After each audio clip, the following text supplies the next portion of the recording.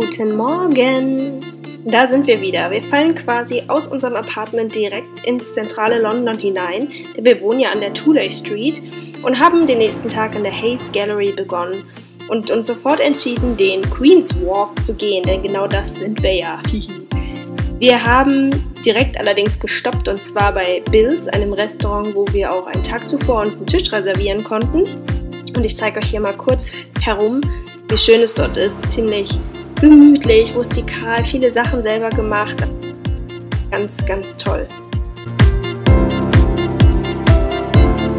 Und es war gar nicht so voll, wie wir dachten. Es ist natürlich auch mitten in der Woche. Und da haben wir uns auch wieder ein schönes britisches Frühstück gegönnt.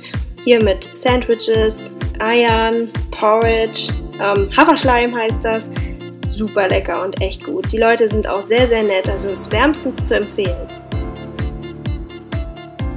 Unseren Queen's Walk haben wir dann fortgesetzt, indem wir wirklich entlang der Bankside spazieren gegangen sind, noch ein paar verrückte Erinnerungsfotos gemacht haben, um dann hier direkt Richtung Westminster Bridge und ja, Big Ben und Westminster Abbey zu gelangen.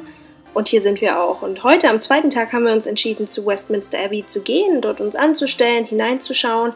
Innen durften wir leider keine Filme oder Videos drehen, aber im Garten durften wir uns ein bisschen herumschauen und da haben wir euch auch ein paar Bilder mitgebracht. Ja, wer lesen kann, ist klar im Vorteil, aber das mussten wir einfach machen. Danach sind wir wieder zum St. James Park gegangen, den wir gestern schon kurz gesehen hatten.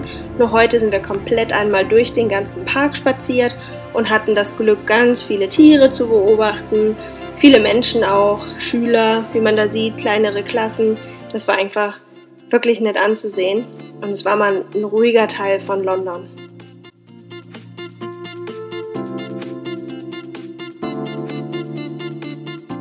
Aber auch die Tiere sind da schon ganz schön busy und buhlen um ihr Futter, also es war schon echt süß anzuschauen.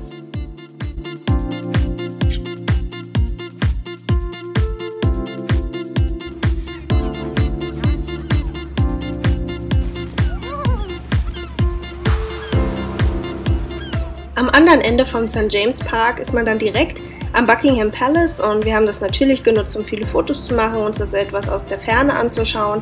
Der Verkehr rund um diesen Kreisverkehr war irre turbulent und wir hatten uns gedacht, von, von weitem ist es auch ganz nett und sind dementsprechend mit ein paar Fotos weitergegangen Richtung Green Park. Ähm, das ist der Park, der zum Piccadilly Circus führt und an der Piccadilly Street sind wir dann auch runtergegangen und an diesen tollen Fenster ähm, hängen geblieben, Schaufenster. Und ja, dieses Restaurant Cicetti hat uns natürlich sofort gepackt. Da wollten wir rein.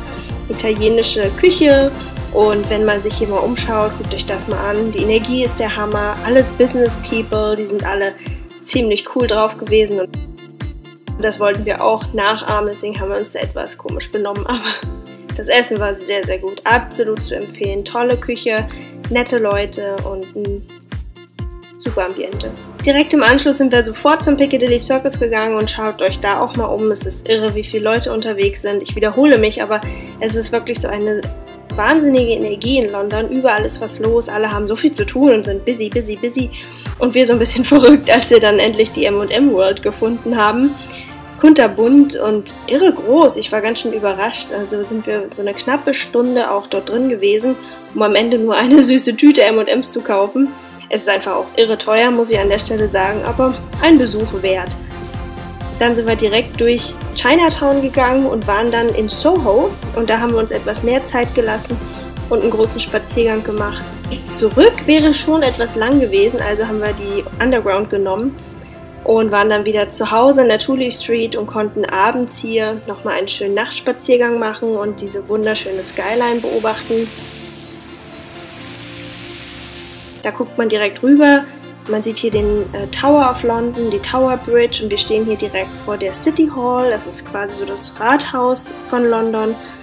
Und hier ganz viele schöne Bürogebäude und auch da sieht man wieder alles beleuchtet. Klar, die sehen jetzt nicht gerade busy aus, aber das ist wieder auch ein Hinweis auf die arbeitende Bevölkerung dort, die wirklich vor allem meine Freundin Anne und mich total gepackt haben. Wir haben uns gesagt, da wollen wir auch hin, da wollen wir sofort mitarbeiten, weil die Energie der Wahnsinn war.